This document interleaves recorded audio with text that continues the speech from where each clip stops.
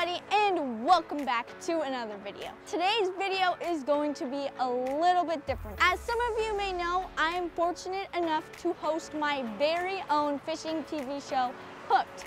As a result, I am lucky enough to have the support from Smokercraft, Yamaha, and the amazing people here at Don Hyde Marine. For the TV show, thanks to Smokercraft and Don Hyde Marine, I get to borrow and fish out of a Smoker Craft 188 Adventurer DC. Today is pickup day, so let's go find Jeff and check out this boat.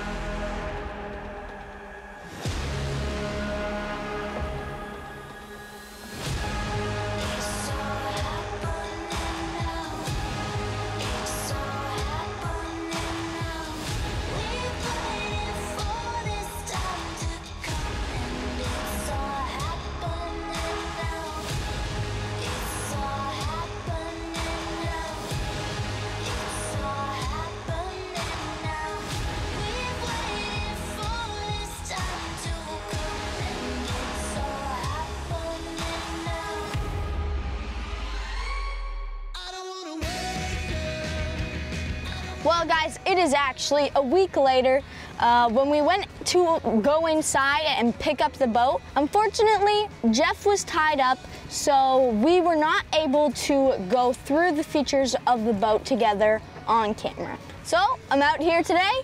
I thought we'd get out on the water, go through a couple quick new features uh, on this boat, and then maybe sneak in some fishing. So let's get to it.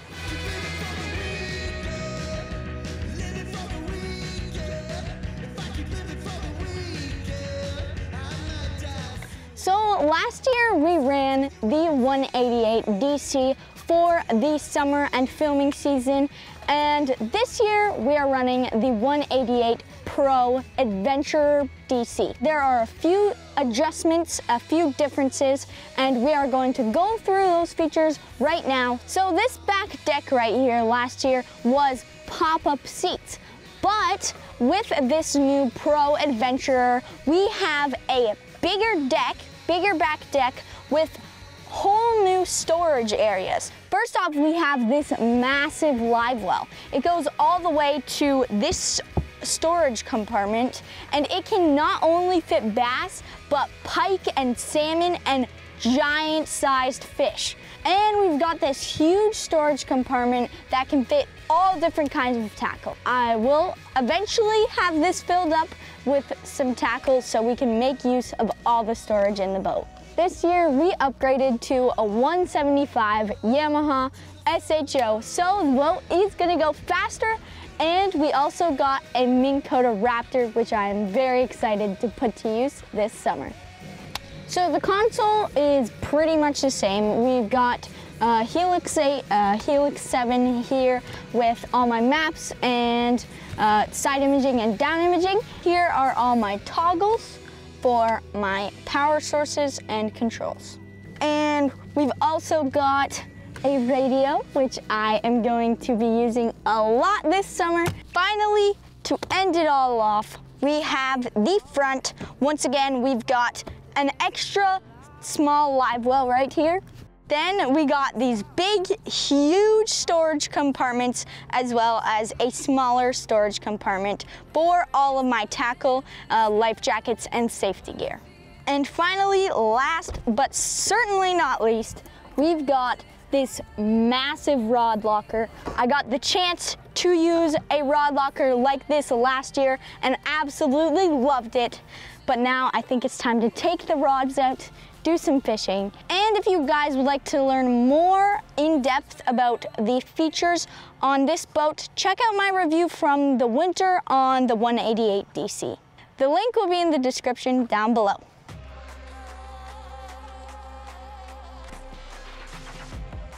Right now, we are at a spot where I could catch largemouth, smallmouth, or pike two kilometers offshore. There is this giant weed patch in a secluded sandy flat. 20 feet of water on one side of us, six feet of water on the other side of us.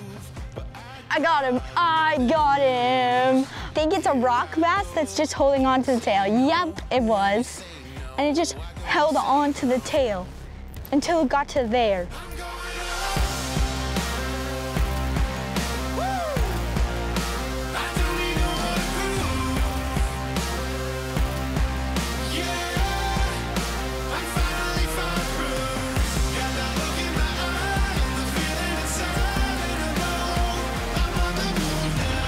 This baby first. Got my swim jig, bunker hunt swim jig with a little chunk of an exozone. Muscle back, girl. Oh, oh yeah, baby. First fish in the new boat, little larger on the swim jig. Hopefully we can upgrade him. There he goes.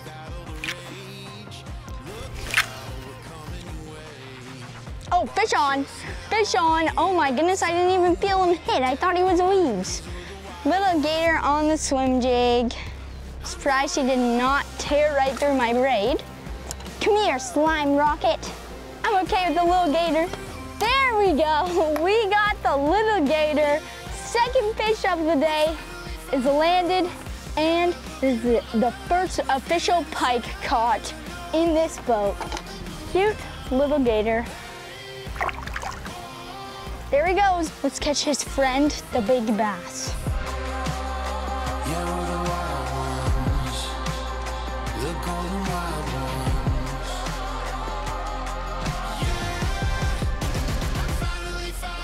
Fish on. Oh, this feels like a better one. This feels like a better one. Ooh, yeah, this is a better one. It's a better one than the last one, that is for sure. Oh my gosh. Come here, buddy. Where are you? Where are you located? Stuck. He's gone. No! Dang it! I ran over the fish. Oh man, that was a good fish too. that makes me sad.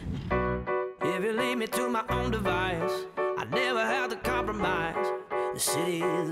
Well guys, unfortunately we're gonna have to cut this video short.